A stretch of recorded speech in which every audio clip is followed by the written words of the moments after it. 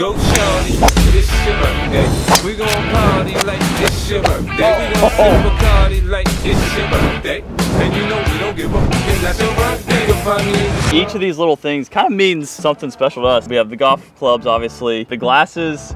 I got glasses. Golf ball, but also could be seen as a dessert food. Kind of like the the mystique. Is it a golf ball? Is it an Oreo? I've been enjoying a lot of Oreos lately. The camera, the video games. Spurs Oh, up. Spurs Go up. Cox. It's pretty cool that we have a polo that we can rock and that we can be proud of. And More excited for you guys to be able to Yes. rock it and getting an amazing product out there to you guys.